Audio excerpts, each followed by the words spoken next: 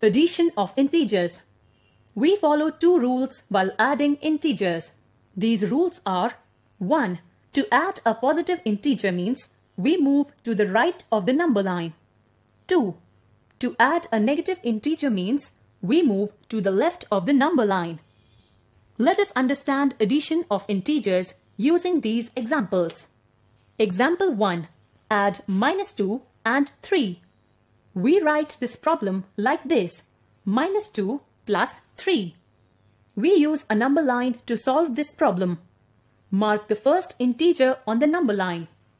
Since we are adding a positive integer, that is plus 3. So, as per our rule, we start from our first integer, minus 2, and move 3 steps towards right. We reach at 1.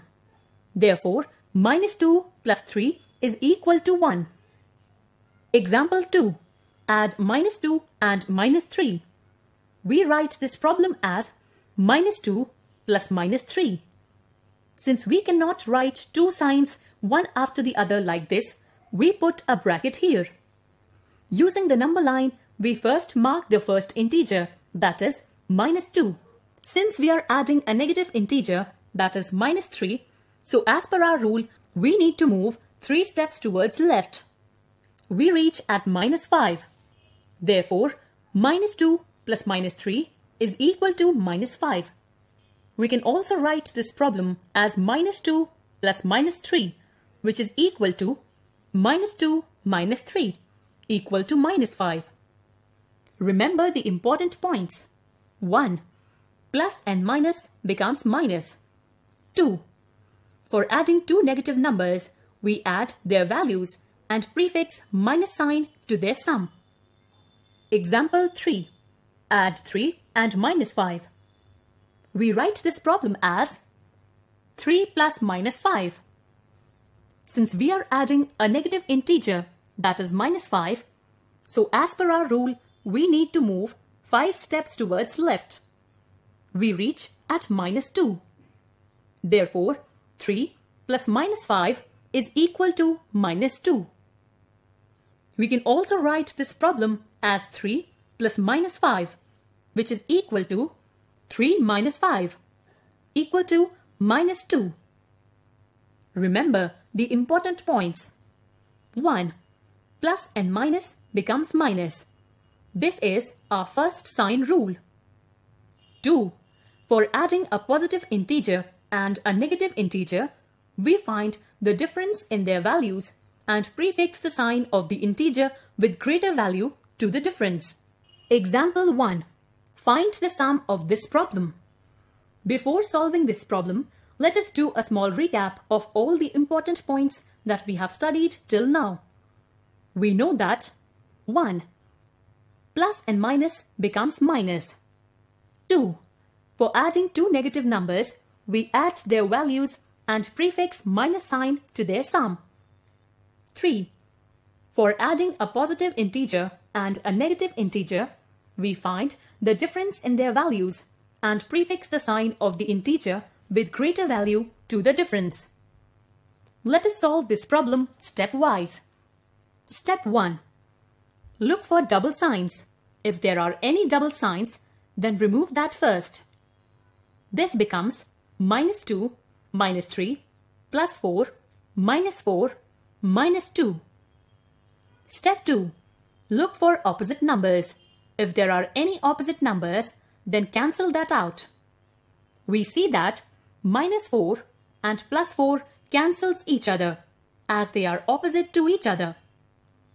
Step 3. Start solving the problem from left.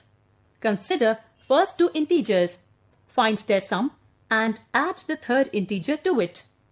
Here, minus 5 minus 2 is equal to minus 7.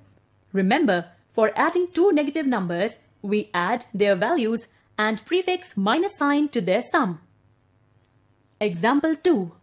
Find the sum of 56, minus 72, minus 86 and 29. Write the problem as 56 plus minus 72 plus minus 86 plus 29. Step 1. Remove the double signs. 56 minus 72 minus 86 plus 29. Step 2. Look for opposite numbers. As this problem doesn't have any opposite numbers, we will go ahead to step 3. That is, start solving the problem from left side. So, 56 minus 72 gives minus 16. Bring down the rest of the integers. Now, minus 16 minus 86 gives minus 102. Again, bring down the last integer. Minus 102 plus 29 gives minus 73. Subtraction of integers. We have studied in our previous class that addition and subtraction are inverse operations. If 5 plus 3 equals to 8, then 8 minus 3 equals 5. We will apply the same understanding in learning how the integers are subtracted. We have studied that 1. To add positive integer, we move right on a number line. 2. To add negative integer, we move left. Now, since addition and subtraction are opposites, our rule becomes 1. To subtract positive integer, we move left on a number line. 2. To subtract negative integer, we move right. Let us understand this by taking examples. Example 1. Subtract 3 from 2. We write this problem as 2 minus 3. We use a number line to solve this problem. Mark the first integer on the number line. Since we are subtracting a positive integer, that is 3, so as per our rule, we start from our first integer 2 and move 3 steps towards left.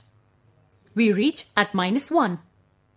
Therefore, 2 minus 3 is equal to minus 1.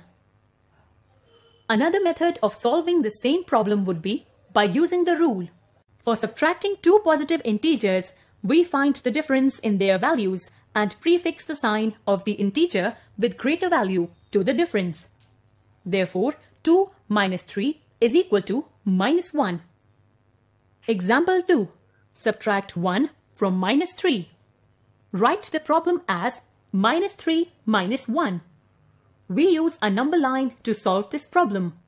Mark the first integer on the number line. Since we are subtracting a positive integer, that is 1, so as per our rule, we start from our first integer, minus 3, and move one step towards left.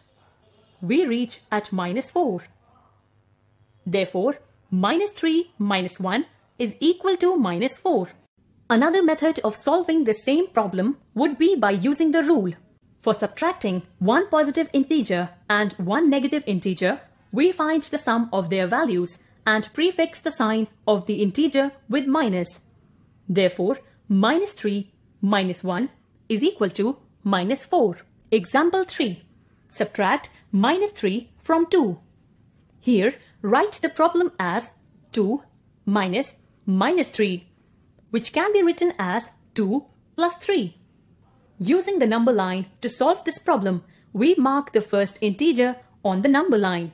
Since we are subtracting a negative integer that is minus 3, so as per our rule, we start from our first integer 2 and move 3 steps towards right. We reach at 5. Therefore, 2 minus minus 3 is equal to 2 plus 3, which is equal to 5. We see here that minus and minus makes plus.